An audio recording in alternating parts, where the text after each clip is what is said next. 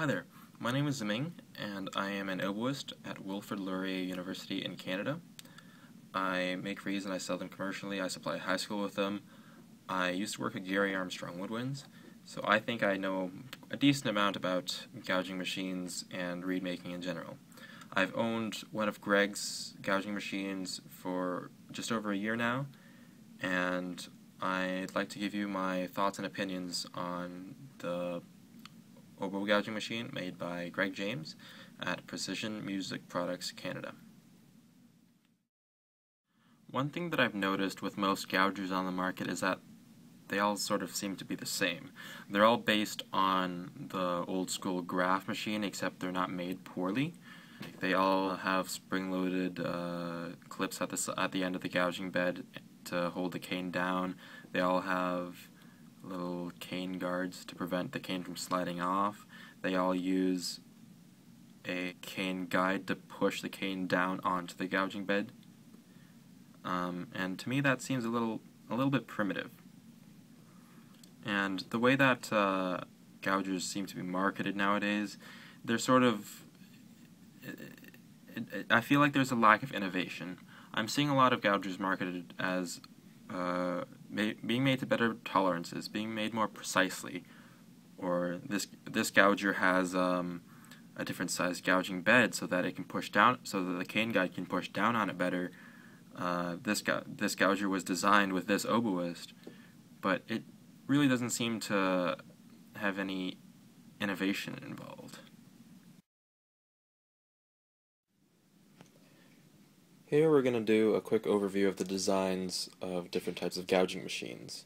In the bottom left corner we have Greg's oboe gouger with the side clamps and uh, the other three machines are just standard gougers that we have floating around the reed room here at Laurier. They're all very good gougers and they're being used and all work very well to make great reeds.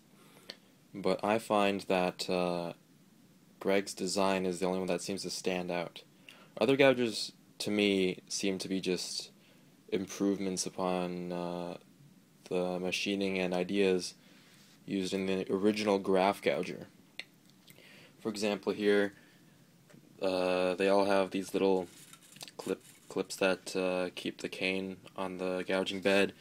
They have the little uh, cane guard here that'll reject cane, reject cane that's too warped or the, of uh, too large a diameter. And you have the gouger carriage that goes on a rod itself as opposed to Greg's gouger where the carriage is attached to the rod and the rod rolls between bear on bearings on the two posts which in my opinion is a better design because there has to be some play to allow the carriage to actually move, otherwise it would just get stuck, right? And if there is the same amount of play between the, this kind of design and this kind of design, there will be a lot less wobble on the carriage itself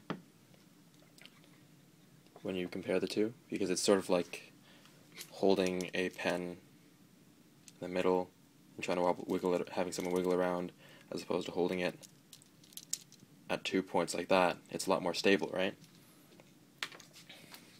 Another problem that you have with uh, standard Graf gougers, well, Graf design gougers, is that as you're gouging, the cane will sort of slowly move to the side, and that will definitely affect consistency.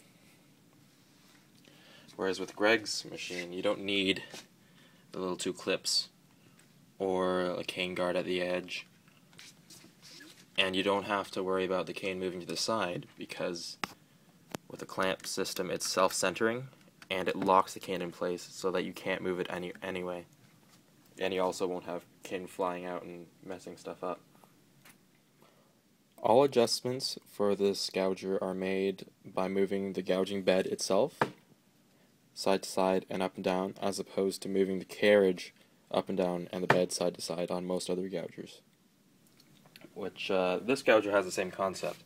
It moves just the bed itself as opposed to the to the roller carriage, whereas these two gougers, side to side, to side adjustments are made by moving the bed itself, but height adjustments are made by moving the car- by moving the height of the carriage. Using this little thing here and on this gouger same concept like this.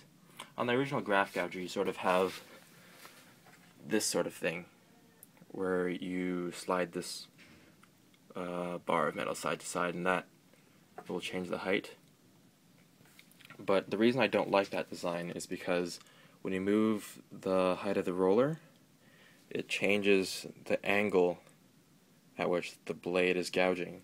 So I know this is exaggerated, but you're sort of, if you raise it, you're sort of gouging at this angle, and if you lower it, you're going to gouge at a different angle, and that'll affect the results that you get. Another nifty little thing that we have on this gouging machine is you can see little markings here, and that'll tell you by how much you're actually moving the gouger bed, and each I can't. I don't know if you can see the little notches, but each big notch is uh, five hundredths of a millimeter, and each little notch is just one hundredth of a millimeter. And you have that for both side to side and up and down adjustments. Another nifty thing about that I like about Greg's gouger is that you actually have something to hold on to the gouger carriage with, as opposed to other designs where you sort of just, you know, put uh, the screw onto your palm and just go for it, right? That can get a little uncomfortable, and well, I've got some calluses on my hands from using those gougers, but that that's a small that's a small complaint, I guess. Another nifty thing that about Greg's gouger that you can't really do with other gougers, well, probably because other gougers don't look as big, is you can sort of, uh, I guess you could say you could field strip it for transport. You can screw this off, take, unscrew this, take this pin out, you can take that out, and it just makes it a lot easier to pack up and transport. Another thing I really like about Greg's Gouger is that it comes with a transport brace, which you can see right here. One part screws into the gouger base, and another part screws into the gouger carriage itself. What it does is it props the gouger carriage up and stabilizes it so that uh, the blade is not touching the gouging bed and it's also not flailing around so that you don't have to duct tape uh, the carriage down to the bed itself with a piece of cotton here to protect the blade. It's also very very sturdy as you can see I can uh, pick up the gouger just by the carriage itself and not have to worry about anything. It's solid.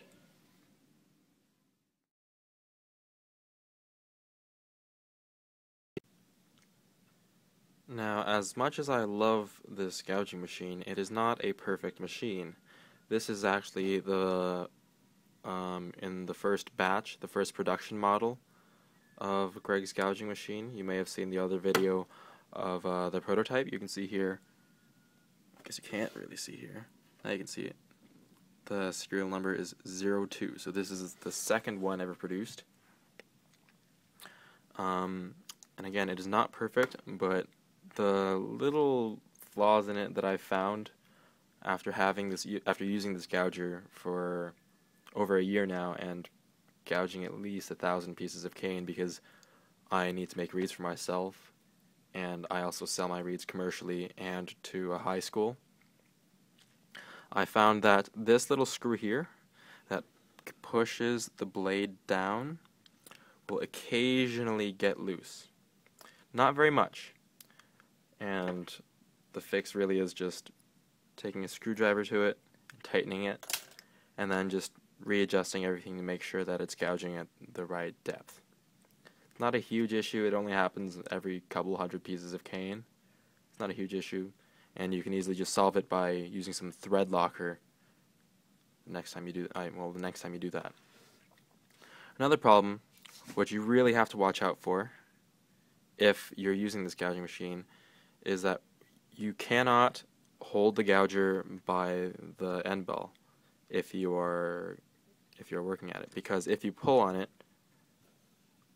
then what will happen is you'll unlock the clamp and for one thing you'll one thing you'll release the cane the other problem is if the clamp is unlocked and the gouger is down the blade will actually con make contact with the side clamp itself. So you have to watch out for that. He doesn't sell you his gouge or anything like that. He he basically has this design concept, which is that you can clamp the cane down to the bed and be consistent every single time. I've had this gouger for over a year, and it I haven't even changed the blade. I've gouged that at least a thousand pieces of cane on it, and it's still consistent. it still makes straight reeds.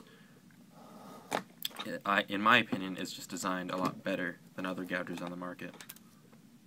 Another thing is that if you like a specific gouge that you're getting on another gouger, but you just want the same gouge um, and you want the gouge more consistently, what you can do is you can send Greg a piece of cane and he will actually take measurements of the piece of cane. Every half a millimeter starting from the center of the piece of cane, he will take a measurement of the thickness, and he can make a blade for the gouger and give you the exact same gouge.